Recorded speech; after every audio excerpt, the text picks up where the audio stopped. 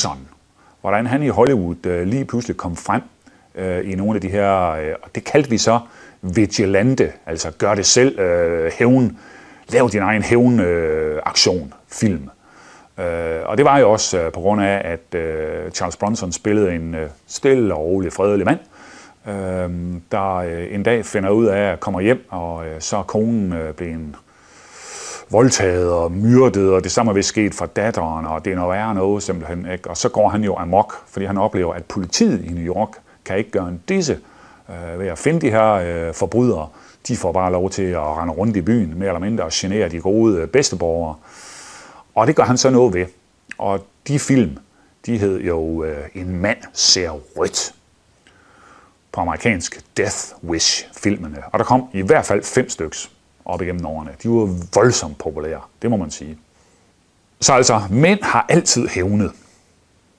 Så øh, finder man selvfølgelig ud af, at ah, det kunne da også være, som nu øh, kvindefrigørelsen og det hele, den øh, skubber på samfundsudviklingen, og øh, damerne og kvinderne og øh, i det hele taget er, synes, at nu vil de også til at gøre sig øh, på arbejdspladser, i det politiske liv, i det pædagogiske liv, i det kulturelle liv ja, netop kulturelle, så øh, finder man jo ud af at lave nogle film, hvor det så er kvinderne, der skal ud og hævne. Og så bliver det jo netop mere kendetegnende, passende med titlen Rape and Revenge.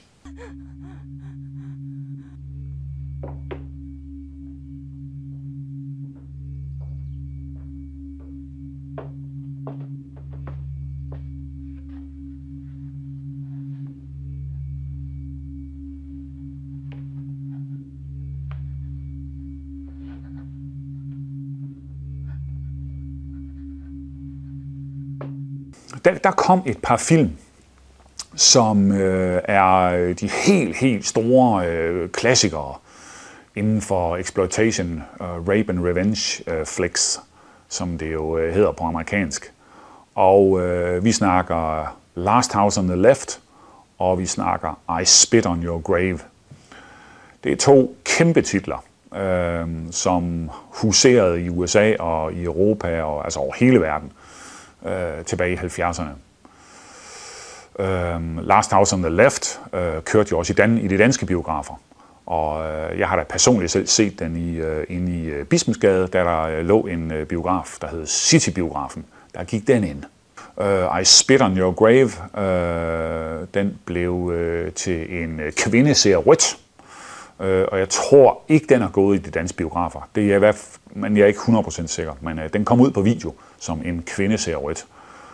Øh, man vidste ikke lige, om øh, man ville oversætte til, øh, jeg spytter på din grav, eller om det nu lød smart, eller det bare lød klamt. Men øh, så vidste man i hvert fald, at øh, når Charles Bronson han var en mand, der så rødt, ja, hvor, og det gav succes og penge, øh, så, øh, så kunne det også være, at når en kvinde så rødt, i stedet for at hun spyttede på en grav, så, øh, så, så brugte man den titel og håbede på flere penge i det. Og det er en enormt berygtet titel, altså.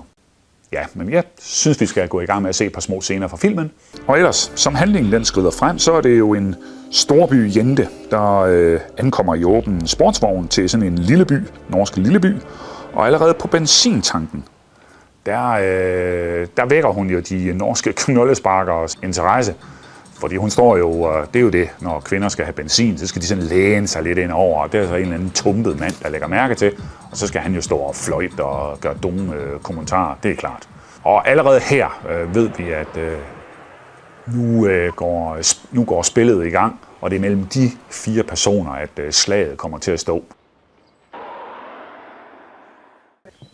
Og øh, kvinden, Ja, hun ser godt nok ikke så gammel ud, og jeg ved heller ikke lige den måde, sådan hun er...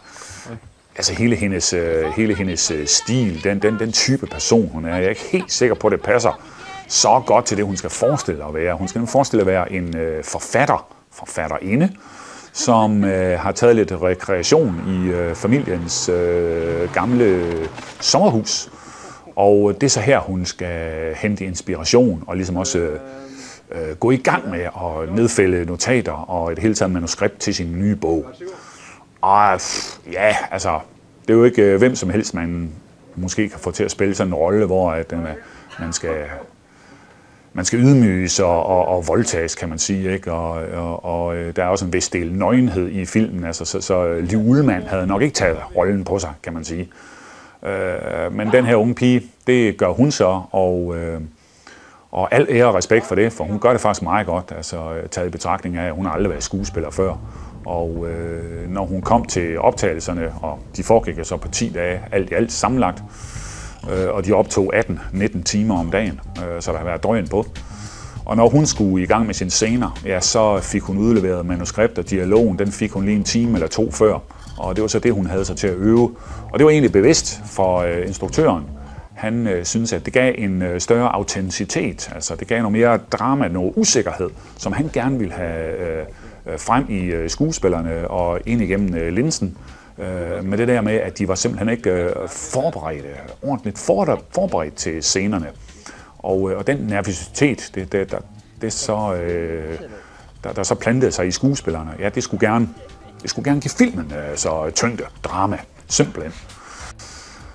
Og sådan et af de mere underlige øh, ting, kan man sige, der, der sker i filmen, den er meget, egentlig meget underspillet. Der er ikke en helvedes masse dramatik. Det er virkelig voldsomt, det der sker med, med, med voldtægt om øh, senere hen død og ødelæggelse, der bliver påført øh, de her mænd. Øh, det er jo ikke nogen hemmelighed. Altså, hun bliver voldtaget, og de bliver onduleret. Sådan. Altså, det, det er sådan, det er i en rape or revenge exploitation flick.